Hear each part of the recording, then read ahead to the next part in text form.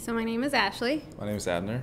and we were a part of the Georgia School of Dental Assisting. And um, well, it was great. I mean, we It finished finished it. definitely, hard. definitely recommend it. Yeah, hard work, but it's worth it at the end. Yeah, especially our uh, instructor Dusty. She she was she was something else. She's the best. I mean, I don't think I could have done it if it wasn't for her. Yeah. So it's great.